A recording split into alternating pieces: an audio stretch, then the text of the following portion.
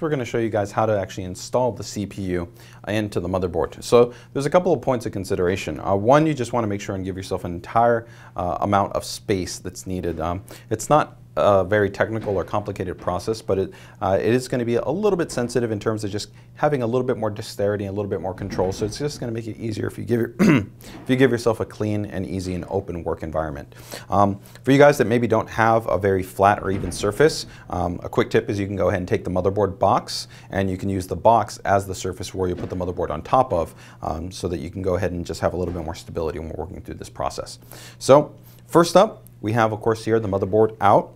And you can see that there's an actual, um, excuse me, there's the socket plate in place. So what we're going to do is we're going to go ahead and press down on the retention um, lever. So when we press down on the retention lever, we're going to want to pull out. So you can see right there, I can go ahead and pull out and then allow it to lift up. From there, now it's not locked into place anymore. I can go ahead and lift up and you'll see that now I have access to the actual CPU socket. Now I can go ahead and just take my thumb to the back of that plate, pop that off, and that's it. I've taken it off. Very, very simple process. Do not throw this away. You want to make sure and keep this in the event that you maybe ever have to return or RMA your motherboard. Uh, you do always want to do that with the CPU uh, cover in place. Okay, so make sure and just keep a hold of that. So next up is we have the actual CPU itself. So this is our 4770K. Uh, this installation process would 100% apply to any fourth generation Haswell based CPU as well as it would apply to a 4670K.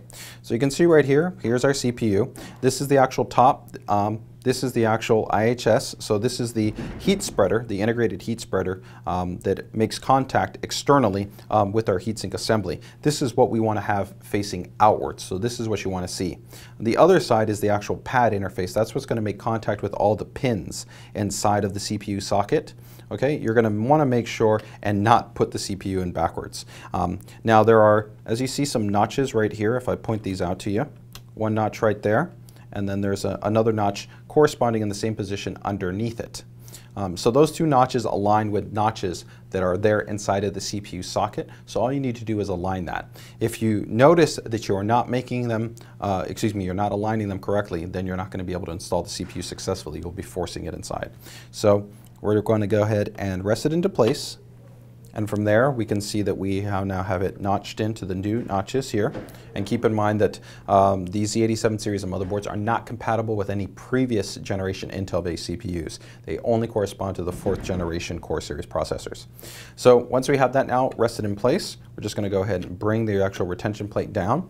You'll see that the actual lever is in an upward position. So we're going to go ahead and bring this down. You will feel at this point some actual resistance. This is entirely normal. It's the contact from the retention plate making contact with the IHS and then making contact with the actual pad underneath it. So we're going to keep coming down, keep feeling resistance, keep feeling resistance, entirely okay, and you're going to want to swoop out and then go ahead and insert in. And now, now you've gone ahead and successfully installed your CPU.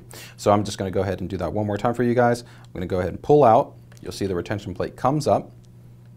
I'm going to go ahead and pull down. Once I get about midway, you're going to feel some resistance. That's okay. If you want at this point, begin to pull outwards and then go ahead and then push inwards and that locks it into place. And that's how you successfully install a CPU.